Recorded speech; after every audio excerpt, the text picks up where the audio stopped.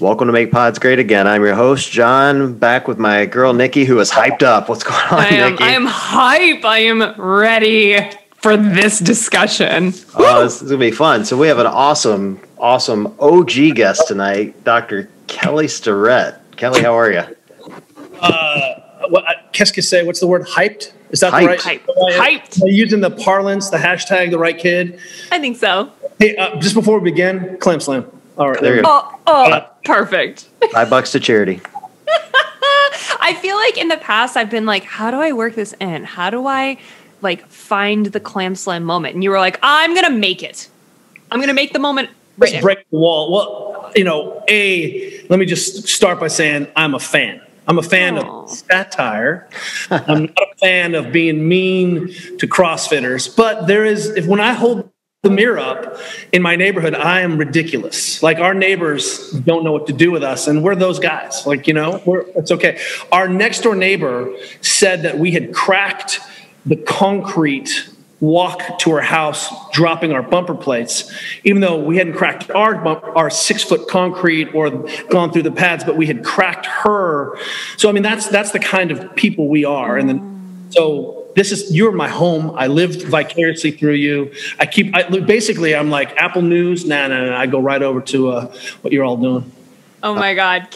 John's gonna make the meme now. Kelly Starrett drops his weight so hard he cracks the sidewalk on the opposite side of the street. Oh, I, I, I've already got the, I've already got it figured out. Don't worry, I'll make that happen. especially if you're ghost riding it accordingly. Like, you know, when I, when I, you know, I'm cleaning and jerking very heavy, you know, 100 kilos, you know, you have no idea the immense satisfaction it takes to actually add weight and stay connected and try to bounce it back up.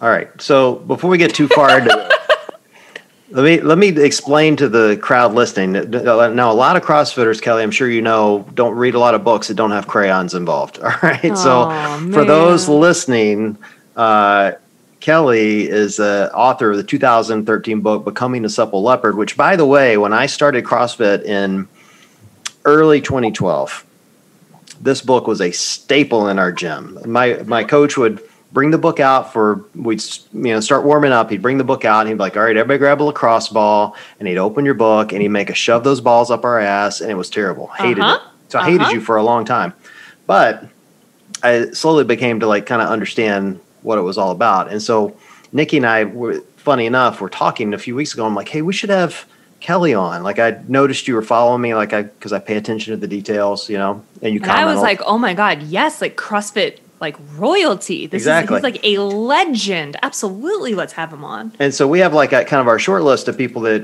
you know we're wanting to get on. Well, when Jillian released her video, like right in the middle, she name drops you, like right in the middle, and, and literally says she worships you, And says your name wrong. and and said your name wrong, but she Or worships have we been saying your name wrong? I guess I should ask. No, no, I got it right because I, I looked up a video to make sure I pronounced it right. I did my research. Because she said it wrong, and I was like, stupid. But she and then said I was she like, worships Wait a minute. Wait a minute. Am I wrong? Okay, good. Yeah, so I so I shot you a message and go, "Hey, dude, she worships you, but I'm going to roast her." And you sent me a voicemail back, which I loved. I laughed my ass off for about an hour because when people send me voicemails, I'm like, "This is the best." Like they got something to say when there's a voicemail, and he just said to me, "Yeah, roast the fuck out of her, bro." And I'm like, "This is great." So I messaged Nikki. I'm like, "We're getting him on the show. Like we got to do." And then I said, let's bring him on and let's have constructive conversation, boys. no, That's okay. Look, yeah, the, the topic is, you know, in this moment where like gyms are in existential crises, people are depressed. Do people know how to train at home? Like that is the thing that we're talking about. You know what I mean? Like I was like, uh, do you? I told I told you I have a, a ter- term for it, the zombie thirst trap. So one is that you're like, I'm so thirsty, I need looks, I need I need likes, right? I Got to get my deep state Nike, um, you know, my my thing out there. And so what I'll do is I'll take a zombie argument, which is so just tired. Like CrossFit is dangerous. It was really hard, right? And then you end that with the thirstiness of the whole thing, and it's a zombie thirst trap. So it's it's the perfect zombie thirst trap. In fact, I was like, oh, it, I could set my watch to those eighteen month olds. You know, like time for someone to come out and say they don't like CrossFit again. You know, it's crazy, especially if, if I'm like, have you ever been to a CrossFit gym? Because the thing you said you did, some burpees and box jumps, we call that conditioning or punishment or things I do when I'm drunk or have eaten too many cookies, right? and not, that is not what we talk about or even what we do. Like that's a buyout after the workout. You know what I mean? And so I, I literally am like, okay, what is it about our marketing that we have gotten to this is how people understand the complexity. I, let me just come straight up and say it. The coaching that's going on in CrossFit gyms is some of the best coaching in the world. And let me say, I know that because I go everywhere. Name a professional team, name a sport, name an organization, Exos, name a place. I'm there and I will take all of the coaches I know in CrossFit gyms up against them. Oh, you need a program Olympic lifting, you need to do GPP, you want to do general sports preparation. We can do it. And in fact, we do it better than everyone else. And so when I hear that, I'm like, okay, okay. Like sometimes when I'm like, I'm pretty sure I'm the greatest husband in the world, and then mm. my wife put something up like you haven't taken out the trash or do what you say you're going to do. And I'm like, no, no, no, I, I just haven't presented my case effectively that I'm the best in the world. I feel like that's a little bit what's going on. Totally, totally. I think so. I have boiled this whole nine minute video down to three major issues. And the very first one is a lack of information. And that I think is exactly what you're saying as well, where like you cannot just go out there and be like, I don't understand CrossFit. I don't understand training methodology behind it. I don't understand the point. I'm like, you have clearly never Googled it then. Because if it was new to you six years ago, which is like what she kept saying, like, I guess it's this now. I guess it's three days on, one day off, but it wasn't that five years ago when I said whatever. If it was whatever it was to you five or six years ago, and you still don't understand the training methodology behind it, you clearly have not Googled it even one time or spoken to anyone who may be able to explain it to you. So, just this complete lack of information around it, whether it is whether she has it and chooses to ignore it or just doesn't have it at all, to me is fundamental pillar one issue with what's been going on here. Well, you know, I, I, you you all you say it well, and what's interesting, I think, is you know, when we started this thing, so we're the 21st CrossFit, right? I've been around for a minute. I've, I've trained at the original CrossFit um, in Santa Cruz, the original HQ. That's how long I've been seeing this and doing this. That when I started CrossFitting, there were like three CrossFits in the world when I first discovered it. So what I'll say is a little rough in the beginning. And let, let me just let me give you an example, and I hope you can come up with a name for this WOD, which was I handed someone a 45 pound plate and we did Tabata squats and then we rested a little bit. And then i gave him a 35 pound plate because that's what 35s are for. And then we did it with a 25 pound plate same tabata squat. And then we did bottom to bottom tabata squats. And weirdly all my friends bitched and moaned about doing things like bending their legs for a week or so. And so like that's not great programming but welcome to kelly Starrett 15 years ago about hey what is this what is this power tool? What does it do? Let me turn it on and and saw all my friends legs off with it. So like I deserve that 15 years ago you know, where, you know, I did the Tour de France during the Tour de France. I was like, oh, I'm going to do some Fran every day for the whole Tour de France. And that wasn't a great idea either.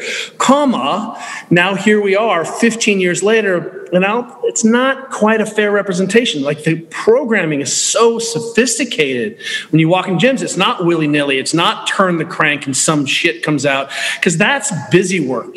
And we got past that because we didn't understand how the pieces fit together. But, you know, first and foremost, I love this idea that like, you know, you know what's really good for business? Fucking people up. Like it is so good, you know?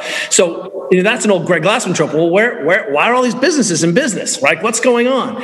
You know, we had 700 unique bodies in our gym in the 90 days before we closed down. So that's our members, that's physical therapy, that's high school having doing PE at our gym, that's our Olympic lifting club with Diane Fu. I mean, like the number of bodies that come through of people where we're literally being like, okay, you came out of Orange Theory, you're messed up, you've been soul cycling and it's not working for you. Like we have a plan. We had a master's program where like 20 masters athletes are muscle snatching, doing Olympic lifts. So at some point, the the the disconnect in that language it, it really is it's just not true. And what i want to say is well show me your work because i will show you that there's no more transparent model than the the model we did. We all took nasty girls and we're like oh you have to show your work. So we'll show all of our work all the time. And you, and you can't you can't argue with gpp you can't.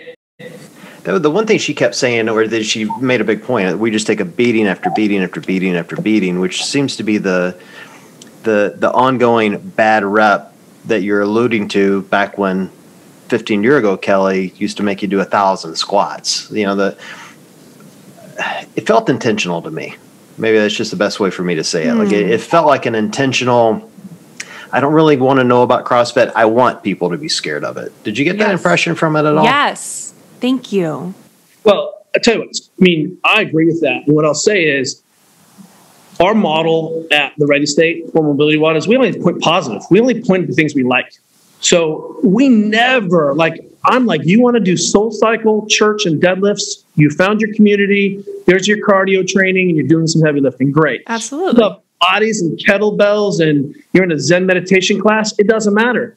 But what's so interesting is that in like generally in this time, what we've seen is a complete fundamental breakdown of the human brain. The brain in our bodies are the most sophisticated structures in the universe. Start there, and then start with the idea that the brain isn't a brain unless it's around other brains. And so, this community idea, this idea of inclusion, where we have every body type and people show up and their fellowship. I mean, it is a close to a cult religion. This is what we are because people don't get it in their communities, they don't get it in their, their workplace. So anyone who tamps down that thing is that is really a shame. Like i am like, oh, Soul Cycle sucks. Those candles get in my lungs and I'm doing Tabatas. Like no one says that because we're like, oh, you love to go breathe and work out? Fantastic. And as we've seen this evolution and arc of CrossFit evolve, people have gone out and become endurance athletes in CrossFit, and they've gone and become power athletes in CrossFit. And their, their expression and experience of CrossFit really changes as they chase ideas and concepts. But what you never ever see, and there was some elitism in CrossFit early on. I, I get that. You know, I was like, "Do you even snatch, bro?" But now I'm like, you know, you know, the the idea that in this moment in this time you're shading anyone from getting moving when we are Look, when you, we all went to high school, chance of us being diabetic was one in 4,000. Now, if you're a kid, independent of your color of your skin or how much your parents make, it's one in four that you're going to be diabetic. you're a black woman, it's two out of three. If you're an Africa, uh, if you're a Latino male, it's two out of three. And guess what's ripping through us in COVID right now? Metabolic derangement, obesity. So what I really heard was, holy crap, we have a national problem with health. And what you're saying is, don't go seek out a coach. Like, that's crazy. You can do it on your own. Madness. You need more fat burning pills, obviously. Obviously. I think that to me, that is like a, a really beautiful segue into my second giant issue with this whole thing. And there's a million other things we could say about lack of information because like like i said before she obviously doesn't understand training methodology or doesn't want to say it. Like john said like you know it, it it seemed intentional like stay away from that do my thing and not that thing. But and so we can get back to that because there's more to say. But i will say that my second giant pillar here is the to me the horrific like detrimental rhetoric of shaming anyone getting off the couch doing better in their own life because of health and fitness in any capacity. Like, I think that that is the biggest problem here, whether Jillian Michael says it or some famous athlete says it or whoever, anyone with a big platform who shits on a training methodology that is saving people's lives. Like, the greater overarching issue here is the detriment that it's bringing to people whose lives could be bettered by stepping into a CrossFit gym who now are like, oh, thank you so much for va-. the comments on the video are like, thank you so much for validating all my fears of CrossFit. And I'm like tearing my hair out out. Like uh. she she actually went one step further than that, Nikki. She said that uh, you know everyone she knew, her seven friends, that CrossFit had given one a heart attack. Wonder who that was, uh, and given another a, a debilitating sh- shoulder injury. Like she's blaming their you know health issues on you know basically insinuating that if you go do CrossFit, it's going to hurt you or kill you. You might die. You might, you might die. I do feel that way sometimes, for the record. But. A lot of handstand push-ups after, yes. Which we tried. We tried that. So the, you know, I think, um, you know, you, this this point is really interesting about where did that come from? So the fitness industry was sort of a hot mess and still is a hot mess. And one of the things that I hope happens in COVID is a lot of the silly bullshit dies off. Because there was a minute in my Instagram feed right before we shut down where I was like, I am so confused. I think I understand. I have a doctor in physical therapy. I've owned a gym for 15 years, but what does CBD nail polish have to do with what's going on? Like gluten free vodka and I smash ha- only meat hamburgers and that's like that's it. Like it was really confusing. But what's interesting is what you're what she highlights is our lack of sort of education training. So Jillian comes from a place. So where did she come from? Which is really interesting. What's notable about the fact that people aren't comfortable with a kettlebell swing?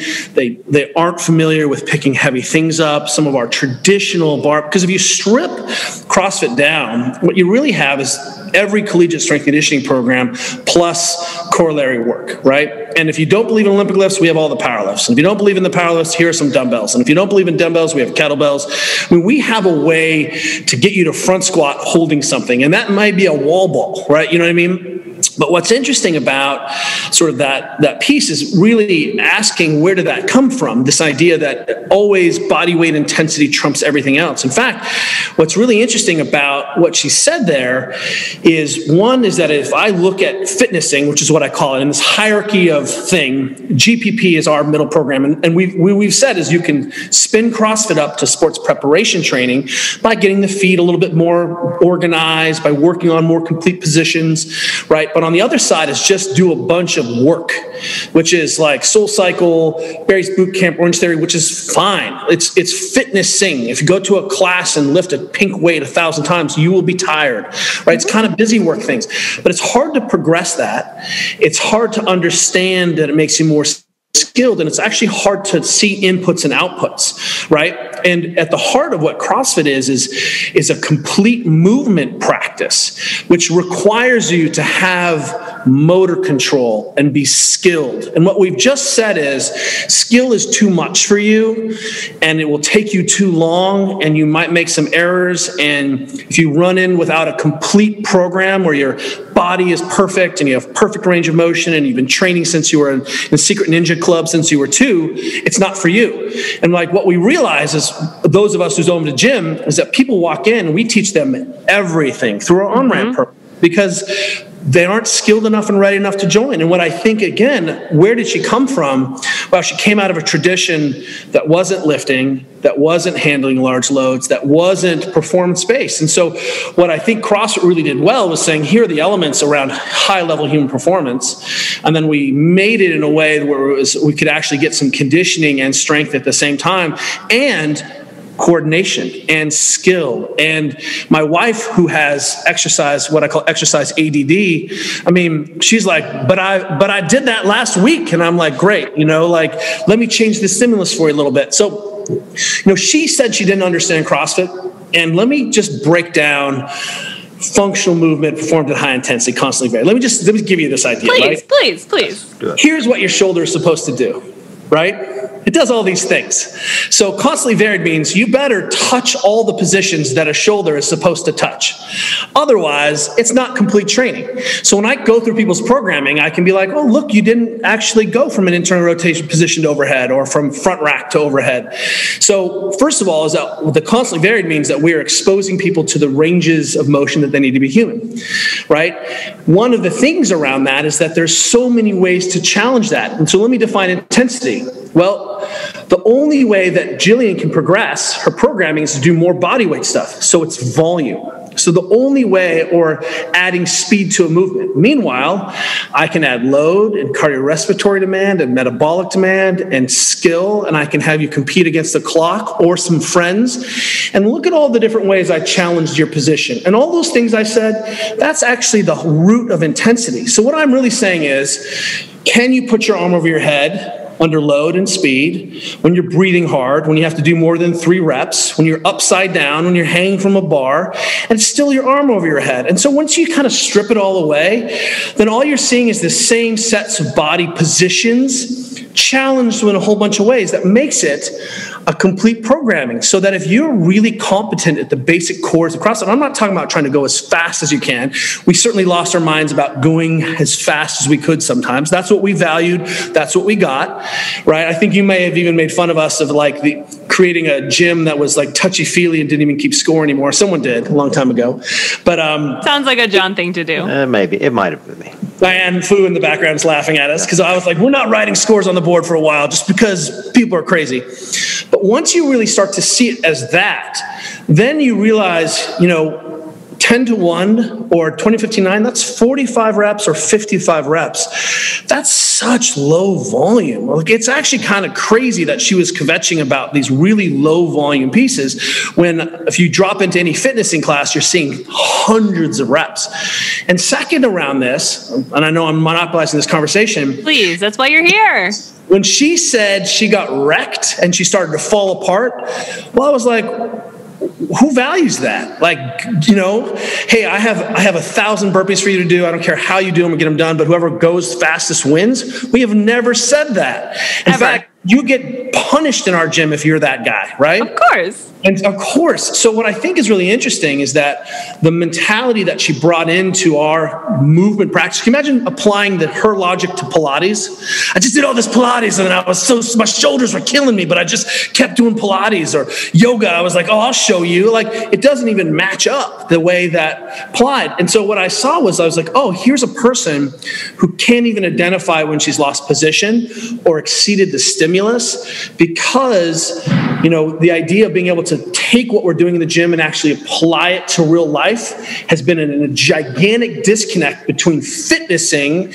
and selling shit to people and actually training people to be more skilled humans. And that is such a divide.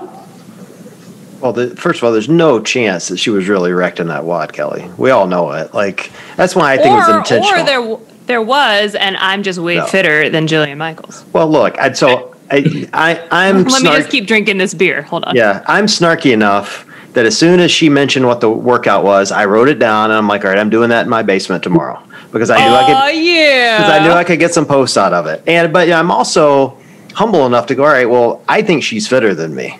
I do. Like, I'm give her credit. She's 46 years old. She looks really fit and she's yes. got a good pedigree, right? So I'm like, maybe this one is hard. Like inside of me, I'm like, maybe it's harder than I think it is. So I do it and I, I make sure like I'm you know we all have those moments where you you know you're not moving with good movement. So i'm like all right i'm going to slow it down. I'm going to have good movement. Make sure that i do this thing right. And the first time i did it i did it in 507 i'm like well that can't be right. I must have missed a whole round first somehow. time you did it? Oh yeah. here we go. I know this, this is really going to piss her off. So i did it the first time and i did it in 507 and i'm like well i must have missed a round. So i have this little whiteboard in my gym. I went and wrote down all the rounds I waited five minutes and I did it again. You are a CrossFitter. Yeah, so I did it twice in a 15 minute span. The second time I did it in 445, marking off the rounds as I went, you know.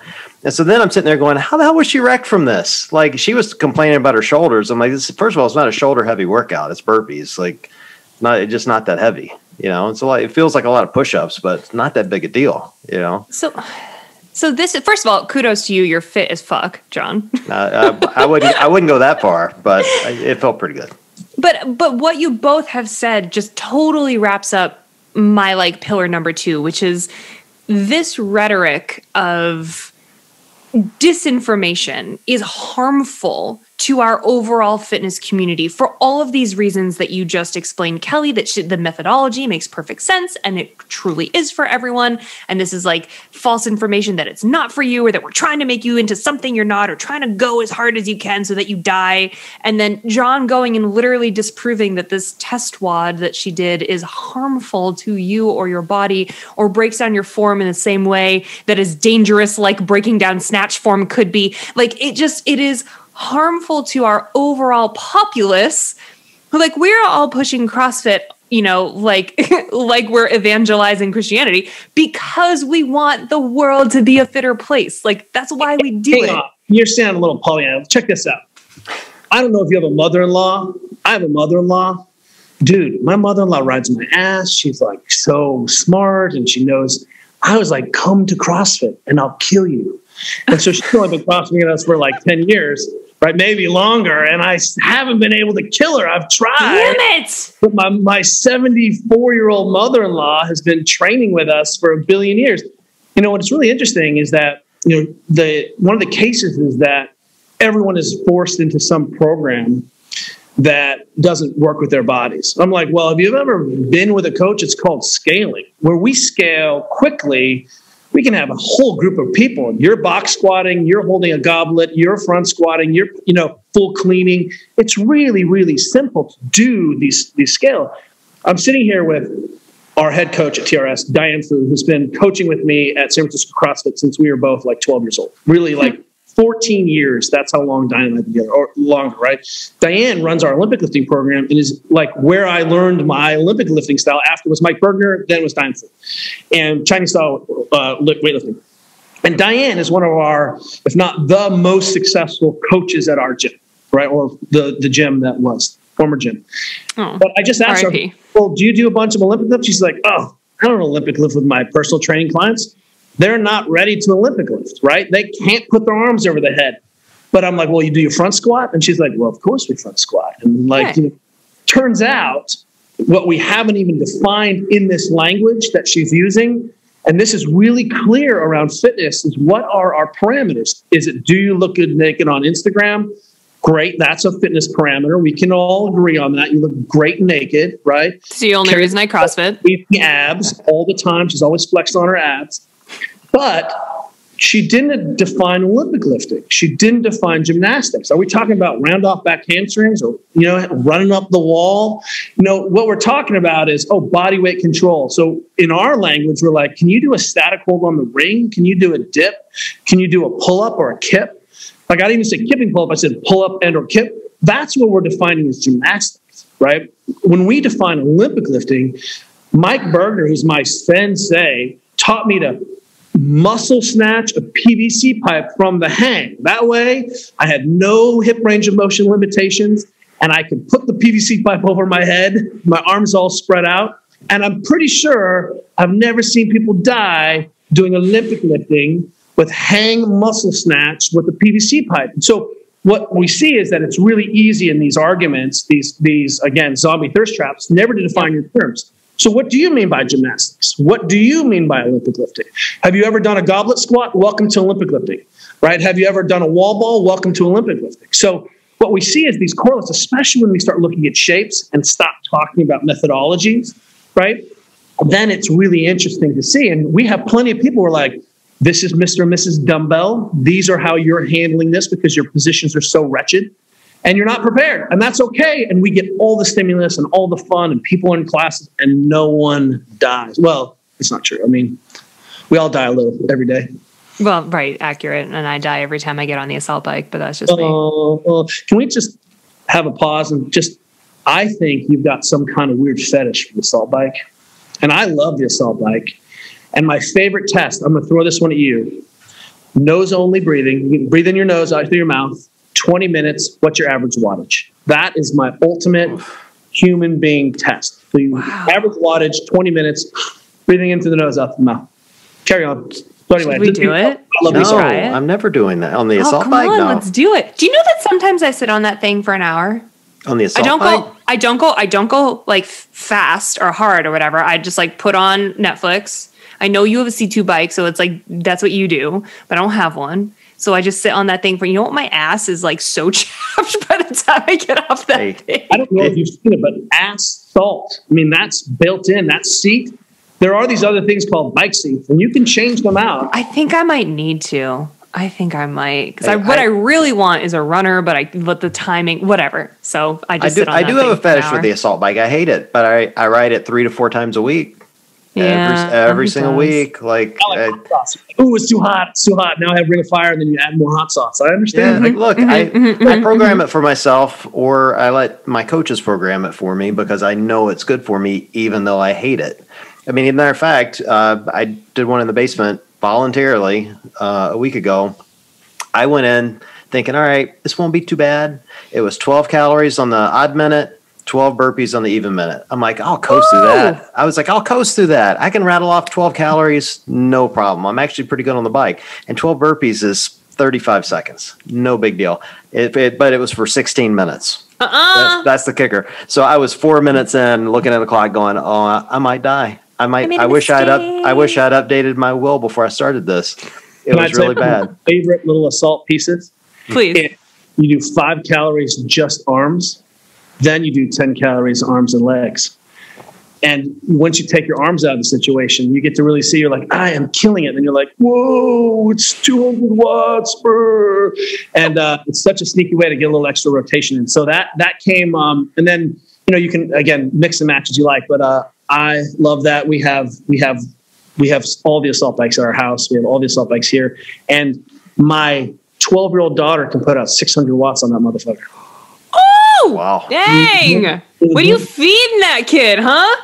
So good. At the games this year, I was like, Caroline, come over here. And she's like, What's that, Dad? And I was like, What are they doing in the swim? She's like, Is that assault bike and swim and ball slam? And I was like, Didn't you do that this summer? And she's like, Yeah, Dad. Except I make her swim across the pool on no breath. So she does assault bike. She has to carry a weight underneath the pool. Then she gets up and ball slams. And I was like, Who is the best slash worst dad in the world? Whoa. Are you raising a former games or a, a future games champion? I- I don't know if you know this, but uh, games champions are tend to be very short. I don't know if you guys know that. That's or a if you've thing. that out before. They're not Yep. five ten usually as women, but my uh, my daughter's gonna be very tall. But they play water polo. They do Muay Thai. Uh, they CrossFit. You know, like they're on the mountain bike team, and the goal is broad, general, inclusive fitness. And uh, you know what's so fun is you know my kids speak the language that every high school strength and conditioning coach speaks, that every collegiate strength and conditioning speaks, and they already speak it. They can already power clean, a front squat, an overhead squat, a muscle snatch. What's so interesting is that when I apply her thinking, Jillian's thinking, to say, well, is this true? And does this hold true across? Because we see kids who do a lot of fitness camp, boot camps, they get to college and they get their ass whipped, or they get to high school into a formal program and they get their and their ass whipped. So what's interesting is that we have this generation of kids who've grown up, like Kara Saunders. Did you see Kara Saunders Webb? Her little kid doing that workout after her. So so Kara, like Saunders is my spirit animal. Like I aspire to be her when I grew up. as a Hell yeah. was the best. But her little daughter at 18 months went over and like did fake push-ups and and moved her hands around and pushed the box. And what we see is just the mimicking of this is formal strength conditioning. What you're finally seeing is that we're peeling off the scar of this fake fitnessing. You know, George Hebert was the founder of MovNat right after World War One in, in France, and his fitness standards in World War One, I would struggle to meet the swimming standard. I would struggle to meet the running standard. I would struggle to meet the pull-up gymnastics standard. He really created this fitness that was just massive, and and and that was World War One. And we have gotten so far in baby people, and walking is enough, and you know here's a rebounder, and you know the gazelle, and it really confused people for a second. And I think what you're seeing with Jillian is just dissonance of the fact that it's not working, and people are afraid to really confront the reality that what they are doing is not working. We are fatter, we are more unhealthy, we don't belong to each other. We go to the gyms and it's lonely. And I'll tell you, it's reflected in our COVID death rates, it's reflected in our mental health, and it's reflected in our national security. We have a population that could not even be deployed if we wanted it to. So when we look at this from these perspectives, what I'll say is, is there enough CrossFits? Because I'll tell you what's not working is the fitness industry. If I have to give the fitness industry a, a score, it's a D. And they get a D because at least someone's trying to do something on Instagram. But if I really just say, well, what's inputs and outputs? What's the black box here? It turns out it's a shit show.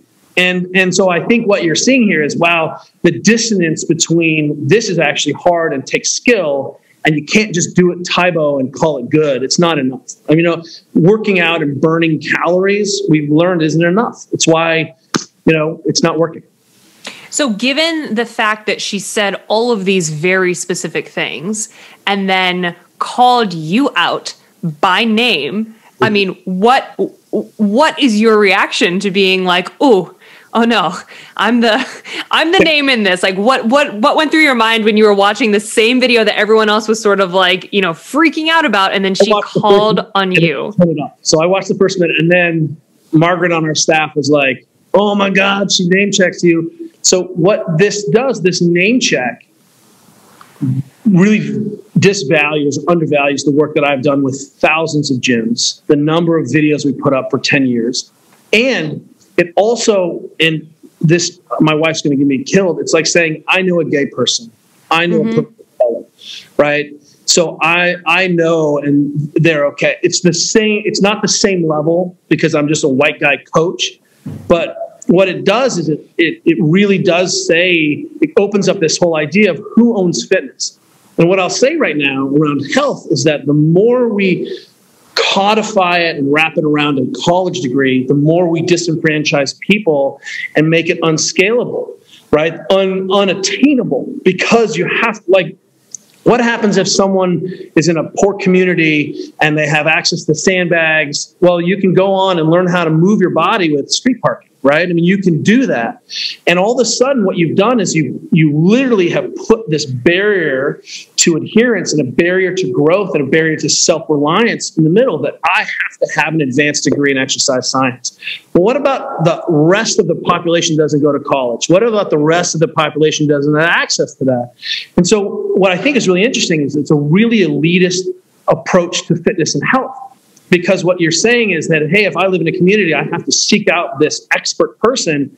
Is there enough expert people? So there's a type 1 error thinking in the middle of that. Look you know let me tell you the, the best program i ever did. Tour de france all the tabata squats right? I sucked and i have apologized to all the athletes who are still with us 15 years later. And i'm like hey i'm sorry i was such a terrible coach yesterday. Today i'm better but we've always been transparent because we get this feedback because I see them the next day. So this idea notion that you know fitness requires high level expertise is just horse shit. Because if I apply the same thinking to Soul Cycle, if I apply the same thinking to any other fitness community, it's an uneven bar. So because you have to have I swing a kettlebell, then I have to be, have an exercise science degree. So for me, it really is it, it's not fair and actually further disenfranchises people from understanding that they're actually in control of fitness and that all you have to do is begin. The human being is so tolerant that we can make some mistakes, but guess what we're obsessed with? Going faster, lifting more weight, you know, progressing. And so what's really interesting is that people like I don't remember if a few years ago I was on a show with the Russells, about, right? And I was all about keeping your toes turned out and like knees out, knees feet straight. And it just it was like apparently in the time we didn't have anything else to bitch about. High bar versus low bar back squat. Well, watch what's happened as everyone has lifted heavier and heavier weights. Their feet are straighter and straighter and straighter and straighter and straighter because that's how athletes move. So once again, you'll naturally see people moving towards moving better because we like to lift heavy weights and we like to handle bigger loads and we like to go faster. And so this natural progression of technique happens if you give people a chance. And it takes us a minute to spin up, and we were certainly a radical idea. Like Greg said, rowing, yeah, people have been rowing, people have been Olympic lifting, but rowing and Olympic lifting together, that had never happened before, right? So it takes us a second. Well, here we are 15 years later, and we've already made our case, and you're seeing people move better and better. So this, this piece that you have to be professional kills me. But Look at the kids at like Active Life RX. Look what Sean's doing. What you're seeing is we can further professionalize the coach. We have a real opportunity for the coach and the trainer to step in and become the health professional. That's what we've been progressing. Who is talking to their athletes three to five times a week about nutrition and regulation and sleep and stress and movement quality and mobility? Well, it turns out it's the CrossFit trainer. It turns out it's not the Soul Cycle person. It's not the Peloton person. So what really what I'm feeling like is we need to actually go a step further and further professionalize the coach, not put an extra arbitrary exercise degree in. That person is the expert in health. Why? Because they live in the community. Your physical therapist is too far away from the squat rack. Look, her her argument that every CrossFit coach needs a degree in exercise science is the it's the typical argument from authority. It'd be like saying you can't be a moral person unless you believe in Jesus or Muhammad or whoever. If you don't believe in that, you're not moral. Like, it doesn't doesn't make sense. I don't need an advanced degree to know bullshit when I see it. Mm. I just don't. Like, I don't need it to know if I have a bad coach or not. I've had bad coaches. I've seen them and thought, that programming sucks. It's terrible. it's too heavy. It's not too heavy for me. It's too heavy for everyone. I've been in CrossFit gyms and seen that. I've been to competitions and seen bad programming. Like, you don't have to have a degree to learn these things over time. I do think she was right about one point that the barrier to entry into CrossFit is really low. It Yep. is really low. Like you get your level one, you're good to go. You can kind of, and there's not a lot of money it, it costs to get in, but it doesn't.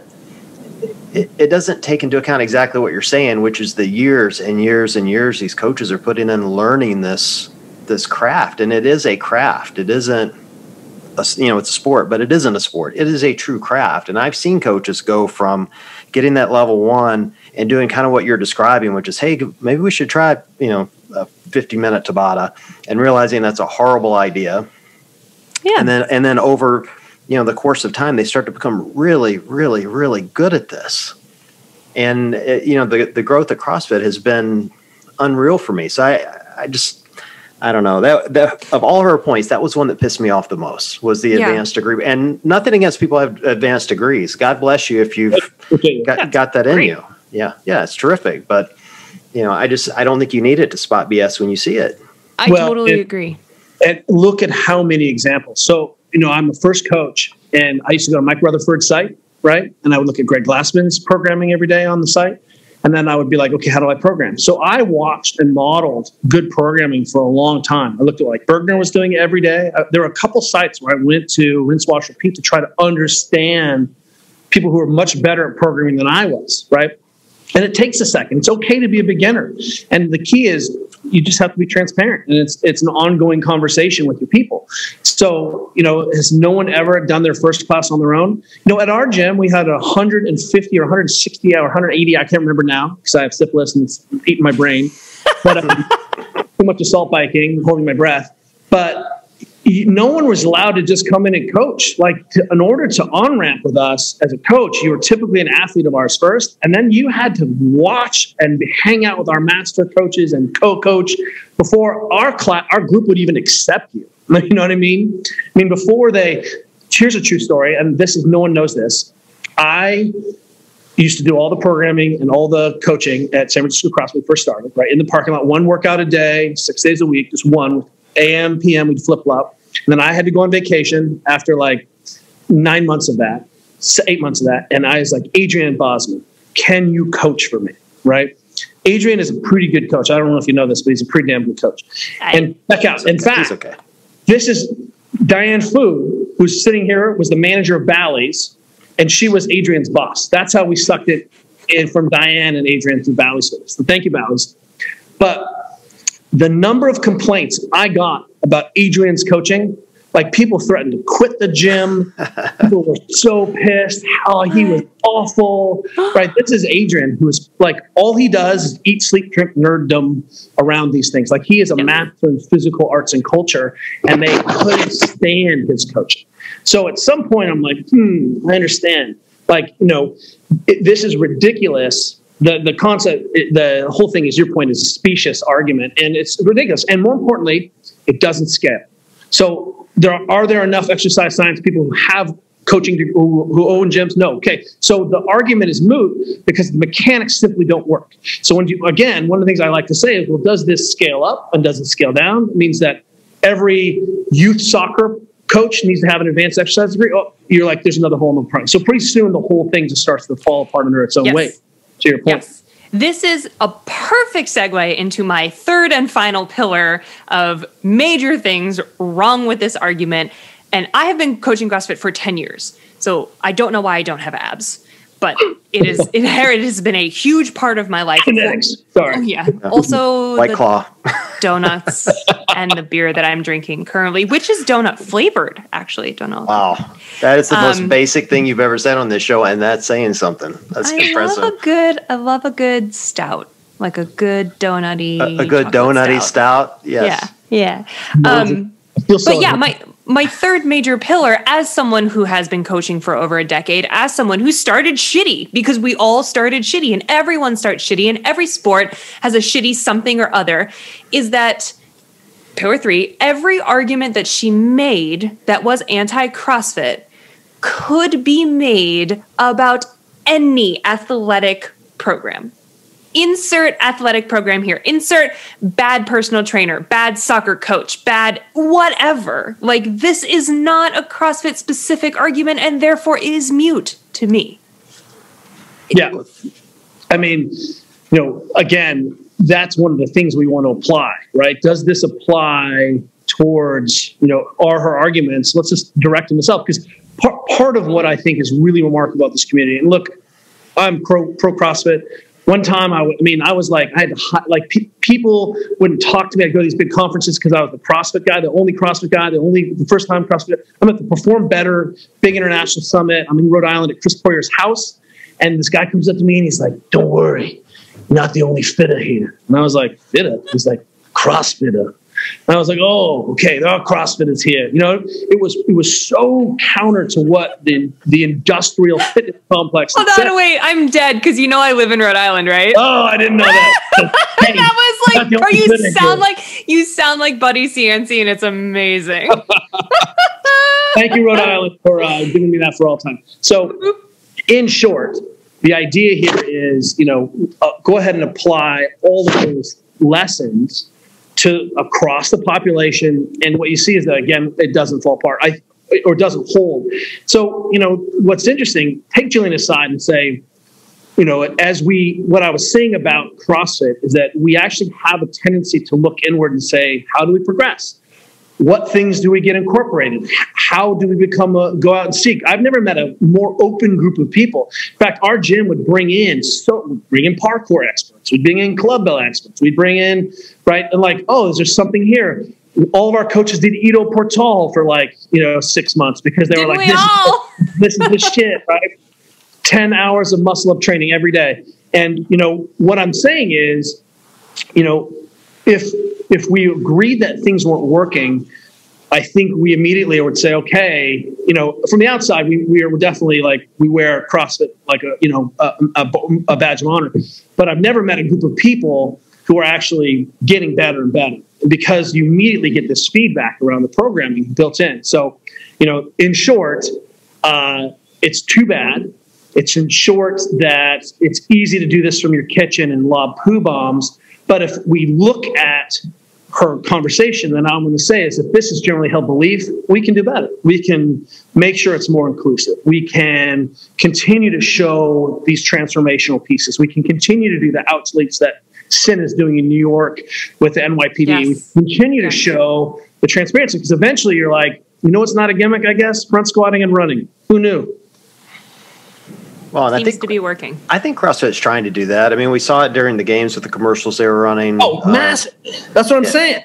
Yeah, I mean, you know, like my 76 year old dad's CrossFitting. Come on, like he's doing it five days a week. He's doing all the same stuff I'm doing, just scaled to a level in which his 76 year old body can handle it.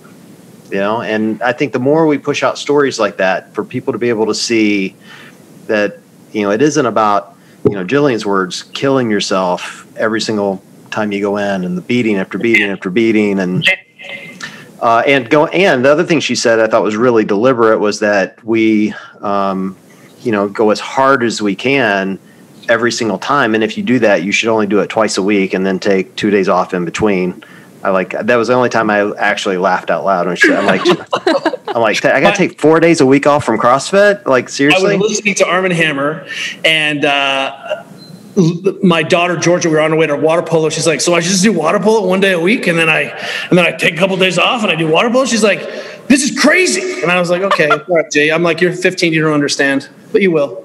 Yeah, well, look, it's deliberate. It, it, in my mind, like I, I'll give you the conspiracy theory. Let's go back to deep state, deep state Nike for a minute. Like for me, it was absolutely, hey, do this two days a week, and you know what you should do on the other two days a week? My app. You should get on my app and do my little hands on the treadmill or whatever her little you know fitness routine of the day Which doesn't was. scale. Once again, unless you have access to, you know, uh, LA Fitness you know, wherever she trains, you know, I'm like, oh, does everyone have a, a you know, it doesn't scale. It's it's not inclusive. It's actually it's actually highly elitist. So you know what? You know, what freaks me out though is like the number of comments I saw online on, and I don't know, like weirdly it was all positive and I was like that can't be right because there's got to be someone moderating these comments because you know crossfitters were in there flaming hard like but but the number of comments I saw on that video that were like thank you so much I've been wondering about this but now I know I should never crossfit like that's what freaked me out. It's like she's coming to this argument with so much clout behind her that people are going to listen, and that sucks. Well, that's that's the point. That's yeah, the point. I, um, I, I, I totally agree. And, um, you know, look, what it says is we haven't done our job. What, what I want everyone to realize is that the glacial pace is the breakneck pace. How, you know, when you, we started this thing in San Francisco 15 years ago, you couldn't buy a kettlebell in San Francisco. Like, say, let's let that sink in. I had to drive down to Santa Cruz to Play It Again Sports to buy all the kettlebells for our gym. Hmm. Now you can buy Olympic lifting shoes downtown San Francisco. It's like something has changed, right?